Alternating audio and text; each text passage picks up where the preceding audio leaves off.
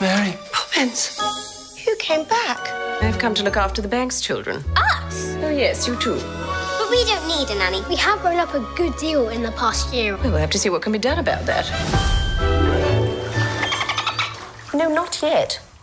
Some people like to splash and play. Can you imagine that?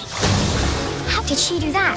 One thing you should know about Mary Poppins she never explains anything. Ah, Perhaps we've learnt when day is done, some stuff and nonsense could be fun. Can you imagine that? Everything is possible. Even the impossible. Are you sure this is quite safe? Not in the slightest. Ready? Disney's Mary Poppins Returns. Rated PG.